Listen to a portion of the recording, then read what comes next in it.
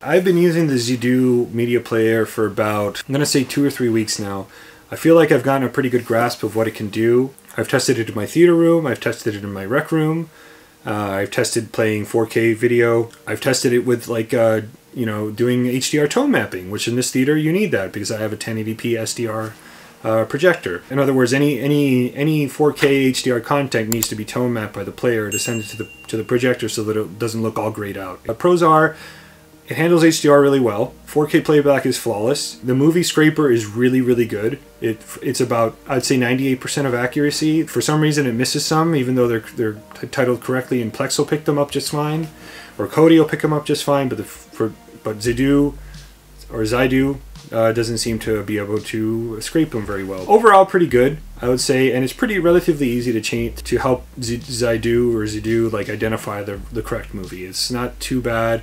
It's a bit, of, it's a little tedious, and hopefully, if you have all your files named properly, uh, then you should be good to go. A lot of pros. I love the aesthetics of the unit. It looks like a good piece of equipment that belongs in a rack and it belongs in a, in a dedicated home theater room. I like the fact that you have an LCD panel in the front that tells you like the playback time of it because I can kind of quickly glance over to my left. But I'm about halfway through the movie, let's say. Uh, the interface is clean. I have tried Zappiti in the past. I would put the Zidoo or Zidoo uh, interface up above the Zappiti interface. Again, I only had the base. I only had the base skin with the So you know you can upgrade you can you can get more Chafta skins but it's not really easy to get those upgraded skins on, on Zappiti, but anyway, that's a whole another story. The interface you get right from the Zidoo is really cool, I think. You get this front loading page with all the with the music, the poster wall and all that stuff. You're, there's an app to see your directories, there's a settings app and all that stuff, and all that works really good, looks good in my opinion. The star of the show is the poster wall. I'm gonna go into a con now. So one of the cons for the players, it does really bad job with scraping TV shows.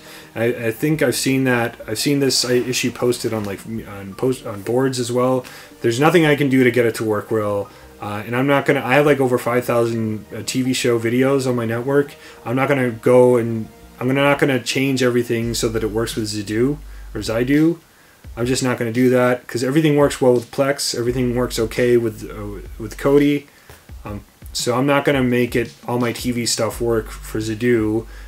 When in fact I think Plex has a leg up on TV viewing because Plex is everywhere. You can watch Plex on a Fire Stick, on an Apple TV, on TV, on actually TVs itself. You, you know, the, a lot of TVs have the Plex app built into it, or you can download it. I watch a lot of TV in bits and pieces. I'll watch 20 minutes here, 20 minutes there, and Plex allows you to kind of pick up where you left off in every little TV. So that's definitely a benefit for Plex and for TVs. So I think Zidoo is just going to be just going to be a purely uh, movie player for me uh, and that's it. And I'm, I'm fine with that. I think what they need to do is like put out some kind of update or something so that their scraper can actually recognize because my file naming con- convention is like works fine with Plex. They should kind of figure out a way to get it to work. It was like finding episodes from like Asian parts of the world and stuff. It, I, no, nothing close. I think it's found. I think it managed to find like 800 out of 5,000 TV shows.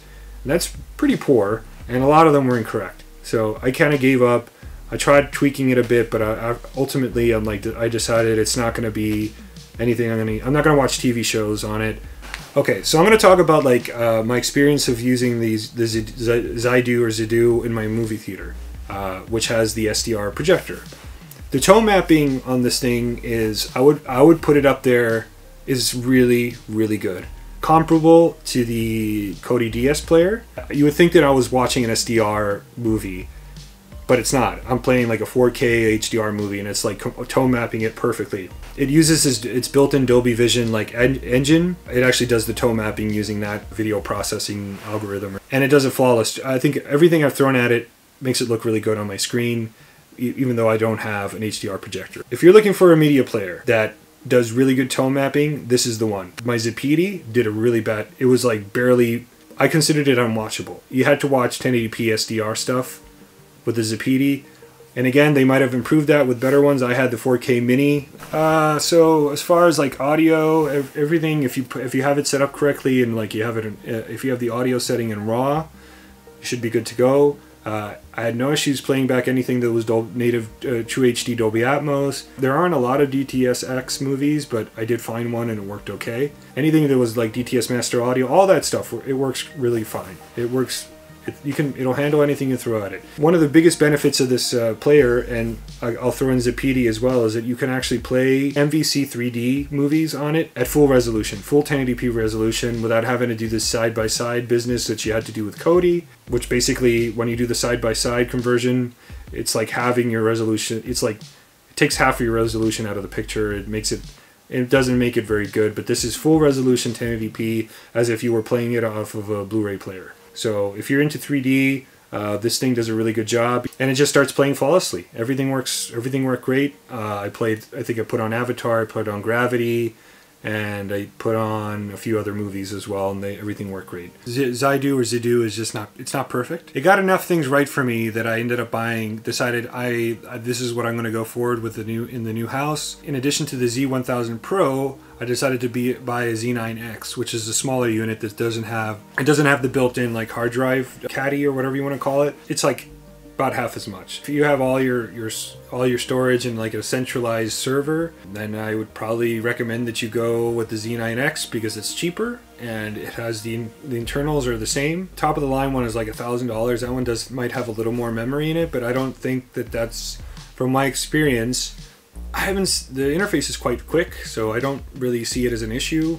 I'm not seeing any bottlenecks in the system right now, so I don't think it's necessary I would probably just go ahead and recommend, unless you like the aesthetics the Z1000 Pro, which I do, and I that's the, the I want that kind of look for my rack. If you don't care about that, then go ahead and get the Z9X. It's I, I it's really good. I'll probably put out at some point. I'll put another. I'll post another video on the Z9X. Those are my thoughts. Uh, overall, I think it's uh, the Zidoo Zidoo is really good. It's a good interface. It's a good system. Good media player. Plays pretty much anything you throw at it.